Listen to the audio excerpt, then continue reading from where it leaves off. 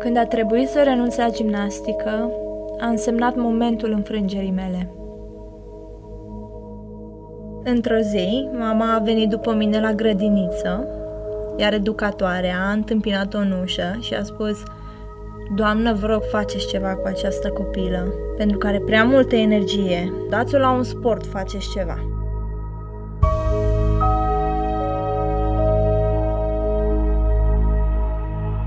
Mama s-a gândit și a spus, bine, aveți vreo idee? Educatoarea a spus, încercați la gimnastică. Mama s-a gândit la aceasta și peste câteva zile m-a luat de mânuță și am mers împreună la sala de gimnastică. Pe drum m-a întrebat, Sabina, dacă nu te primește, poate gândesc că ești prea mică, ce faci?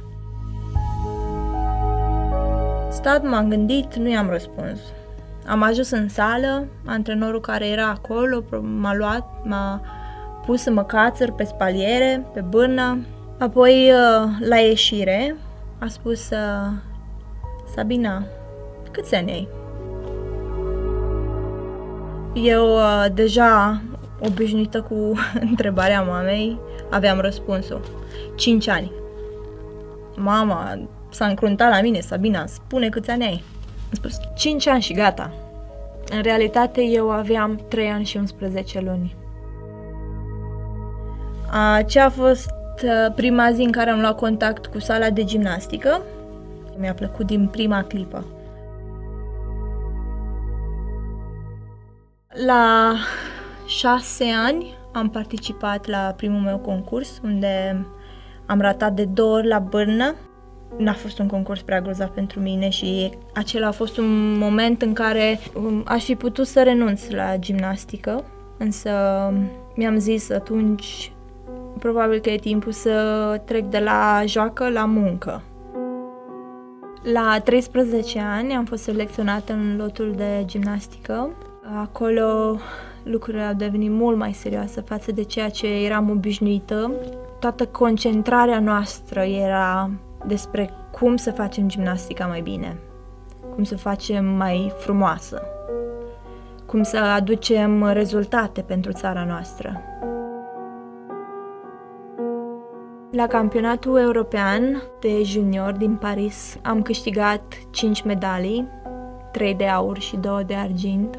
Acela a fost uh, debutul meu în uh, gimnastica de mare performanță a lumii, iar uh, următorul concurs care îmi este foarte aproape de suflet a fost cel din Belgia, de la Ghent, campionatul mondial din 2001, unde am câștigat o medalie de aur cu echipa.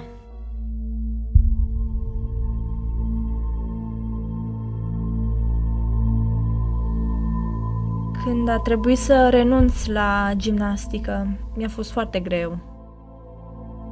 Am încercat de mai multe ori să revin, mai mergeam la sala de gimnastică, dar uh, corpul meu nu mai, nu mai vrea să mă asculte. Eu doream să mai fac gimnastică, dar nu mai puteam toată noțiunea asta de a nu mai face sport a început să mi intre la cap, să înțeleg, ei, chiar nu mai fac gimnastică. La un moment dat am devenit disperată. Singura persoană la care mai puteam acum să mă îndrept gândul era Dumnezeu. Am spus, Doamne, am nevoie de ajutor, am nevoie de un sens, de un scop în viață trebuie să-mi regăsesc bucuria de a trăi. Nu știu, ajută-mă.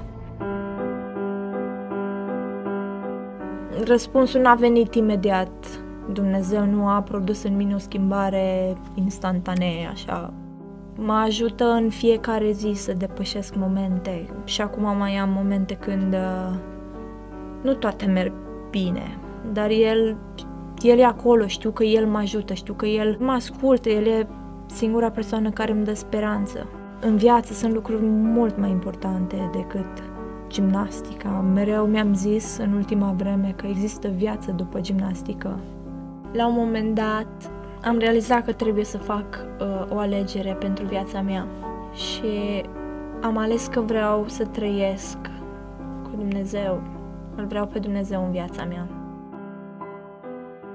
Sunt Sabina Cojocar și aceasta este povestea mea cu Dumnezeu.